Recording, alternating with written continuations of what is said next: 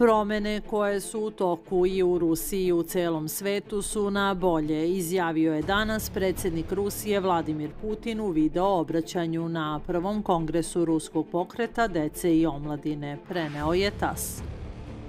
Ne proživljava trenutno samo Rusija velike promene, ceo svet se menja. Verujem da su te promene na bolje, rekao je on. Putin je istakao da se nada da će otvorenost i odlučnost Rusije učiniti svet pravednijim.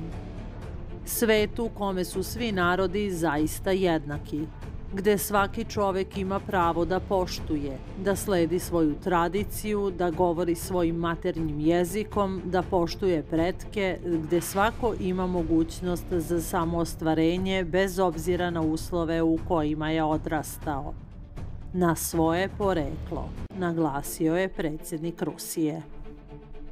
Zapratite naš kanal i playlistu Balkanska hronika.